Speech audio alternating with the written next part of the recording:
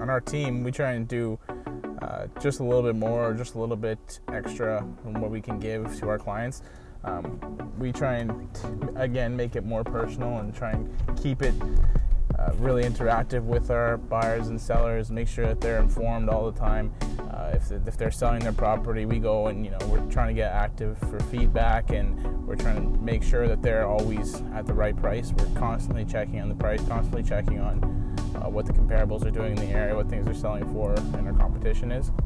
We look at you know possible renovations. If they need help with that, we offer referrals and guidance on what to do as far as renovation, what kind of return it will get you out of it. Um, and we do a lot of extra marketing is probably the biggest thing that we do between other people that they don't, other realtors, other teams.